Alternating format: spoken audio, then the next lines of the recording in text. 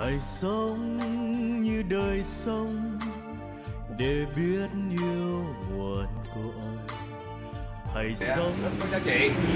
về mỹ thuật gọi là mỹ thuật trong thời gian mỹ thuật thực thể. Và vẽ năm 1962 rồi. Tôi rất mong quý vị khán giả nếu có tranh của họa sĩ hãy bảo tồn và giữ gìn nó. Tôi rất mong là quý vị khán giả nếu có những cái tác phẩm tương tự về giống như tác phẩm như thế này về sơn dầu về tức là họa sĩ Việt Nam hãy bảo tồn và, bảo vệ nó giống như cái tài sản của mình như vậy. Đừng có bỏ phí những tác phẩm giá trị nghệ thuật. Đấy là họa sĩ Lê Lương biết có là phục chế dạ. đã từng ờ, phục tổng ờ, của Vinh Du Bảo Đại. Tôi biết ấy, thì Lê Đương đã có nhiều tác phẩm giúp cho đất nước chúng ta có nhiều tác phẩm nghệ thuật ờ, giúp cho đời à, Lê Đương có thể à, à, nói rõ hơn. Nghe ví dụ như cái điều đặc biệt nhất là mấy năm về trước là nó phục chế lại toàn bộ những tác phẩm trong dinh mộ vua Bảo Đại ở Đà Lạt á. Rất là làm mấy thằng mấy xong. Và hoàng hậu Nam vua Đại Hoàng những cái tư liệu quý ở trong đó.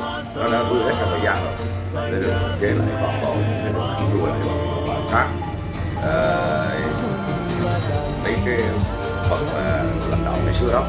Họ gần hai trăm bức ảnh giờ tác phẩm mới nhất là tác phẩm liên quan rất là đẹp làm đặt ở cái trong cái tượng thác quan xe hơn đi trong cái tượng thác cô động với hơn với nhiều cái thể loại khác nhau nói về và theo tôi biết ngành à, Lê Đương à, cũng đã góp phần vào ban tổ với ban tổ chức à, chuẩn bị à, tổ chức lễ hội đền hùng năm nay năm quận 2002 à, tại quận 9 thì Lê có thể à, tại quận chín ừ, Lê Đương sẽ sẽ làm cái gì Lê Đương phần sẽ có phần về các loại thể loại tranh giáo, tranh tâm linh và một số tranh chân dung về quốc tổ của mình. Vậy. Nói chung là nó phần cái văn hóa Phật giáo của mình từ cái thời ờ, vua Hùng tới giờ.